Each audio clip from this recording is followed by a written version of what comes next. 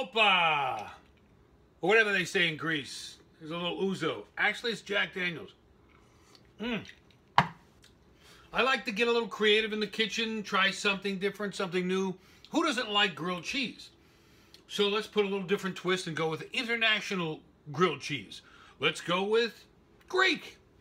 Okay, since I already have the ouzo, well, it's Jack Daniels. Anyway, we have some naan bread, okay? You can use pita, you can use naan bread. you can use sliced Italian bread if you like. It's grilled cheese. It's yours. You're going to eat it. I'm just uh, making this one.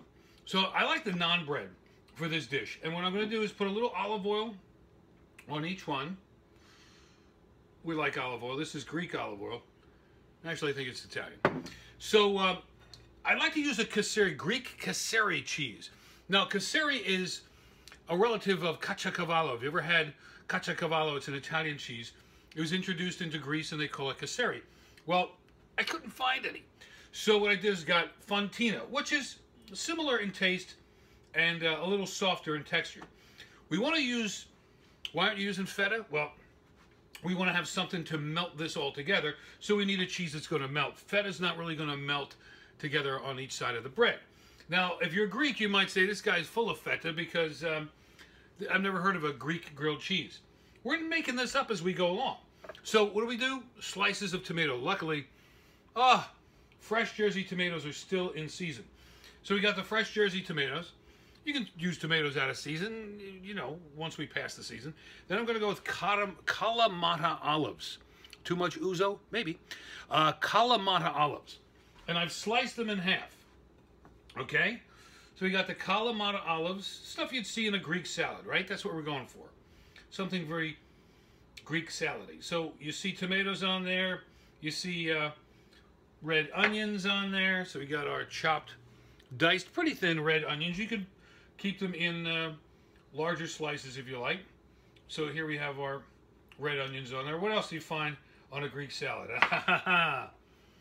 feta cheese. I love feta cheese. I found a new product.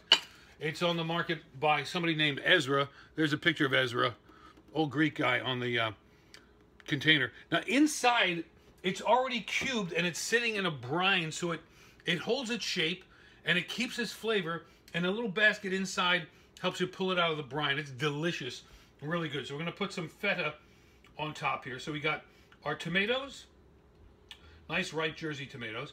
We have Kalamata olives, and we have feta cheese on top of the uh, naan bread. Or you can use pita.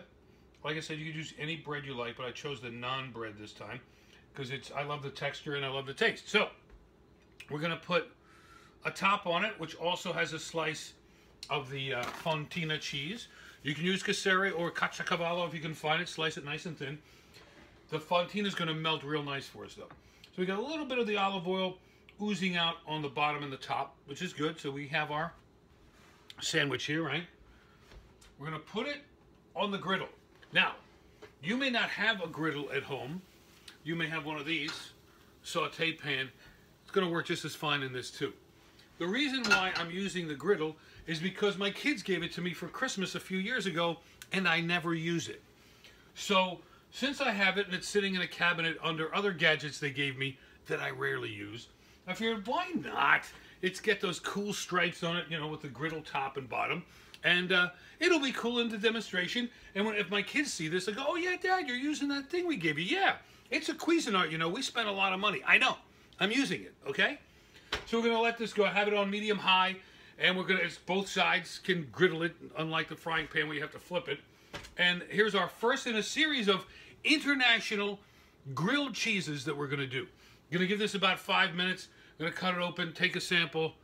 I know it's gonna be delicious. I don't know what they say in Greek for delicious, but upa, and have another sip of ouzo. But you already know, this is Jack Daniels which uh, he actually was Greek. I don't know if you knew that. Oh yeah, he ended up in Tennessee, got lost. It's a long story. But we'll check back on the uh, Greek grilled cheese in just a minute. Are you ready? I am, and so is our sandwich. Oh, this looks so good. Smells delicious. Our first try at a international grilled cheese sandwich, and we're calling this a Greek grilled cheese. We used naan bread. We put tomato, fontina cheese, Kalamata olives, red onion, and feta. And again, I know you Greeks at home are saying, he's full of feta. I never heard of such a thing. Uh, well, we're experimenting. We're going to do some other international grilled cheeses because it's American to love grilled cheese. And America is a melting pot of all different ethnicities. So let's make international grilled cheeses. First one, Greek. You will love this. It is outstanding. Greek grilled cheese.